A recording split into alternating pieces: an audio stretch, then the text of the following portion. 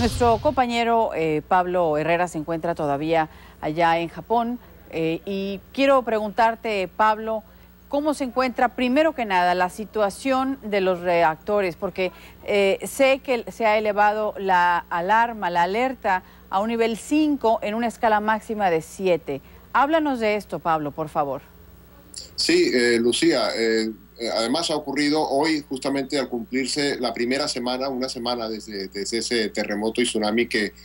posteriormente que afectó a la planta de Fukushima. Eh, los esfuerzos siguen, eh, continúa sin,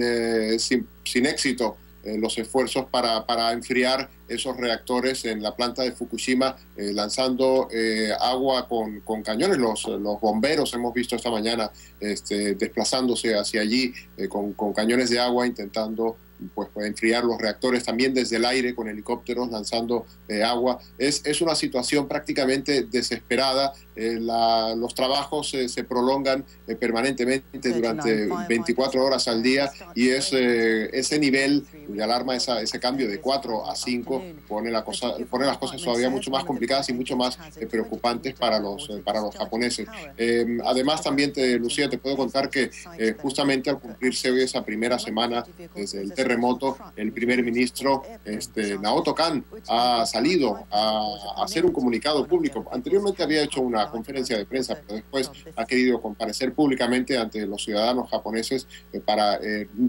para, digamos, subrayar la necesidad de solidaridad con el pueblo afectado, con eh, los ciudadanos afectados, que se cuentan prácticamente por mm, eh, decenas de miles, son medio millón de personas prácticamente los que están eh, actualmente en albergues todavía esperando pues una decisión a ver dónde pueden ir, se han quedado sin hogar, la ciudad de la, ciudad de Sendai y los alrededores están prácticamente devastados y el, primer ministro ha querido pues digamos subrayar esa solidaridad y pedir a sus ciudadanos que sigan eh, mandando ayuda, que sigan eh, pendientes de lo que está pasando allí, porque en cualquier momento pues eh,